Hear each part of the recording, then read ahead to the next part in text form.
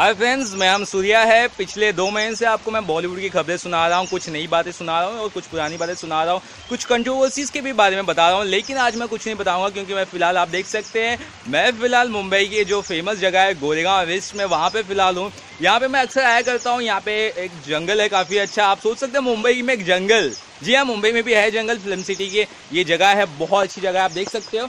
यहाँ पे जंगल है यहाँ पे पानी है झरना है ज़्यादा बड़ा तो नहीं है फ़िलहाल लेकिन बहुत बड़े बड़े झरने। हाँ यहाँ पे आपको कोई दिखता होगा ये मेरा दोस्त है राम ये अक्सर हम मैं इसके साथ आता हूँ बहुत अच्छा बंदा है।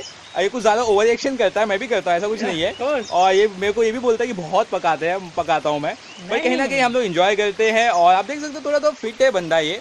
क्योंकि ये थोड़ा ज़्यादा एक्सरसाइज वो करता है, इससे मेरे को भी थोड़ा हेल्प किया, आप देख सकते हो, थोड़ा सा कमी उमी लो है ज़रूर मेरा, और मैं काफ़ी ज़्यादा तो हेल्दी नहीं हूँ बट ये काफ़ी ज़्यादा हेल्दी है। ये जब भी भागता है, मैं हमेशा पीछे रहता हूँ, लेकिन हम लोग की एक अच्छी दोस्ती है, और कहीं ना कहीं मैं वीडियो जब से बनाने लगा, मेरी जो इंस्पिरेशन थी, कहीं ना कहीं जो एक डर था, इस भाई ने मेरा डर निकाला, मेरे दोस्त ने राम, और अक्सर जिस तरह की जो न्यूज़ में देता हूँ, उसमें मुझे जो थोड़ी बहुत हेल्प भी करता है, ये मेरा भाई है।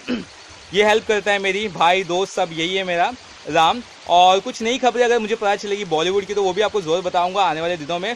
फ़िलहाल तो आपसे लेता हूँ अलविदा, क्योंकि मुझे बे वॉकिंग करना है, भगाता बहुत है। तो चलिए बाय बाय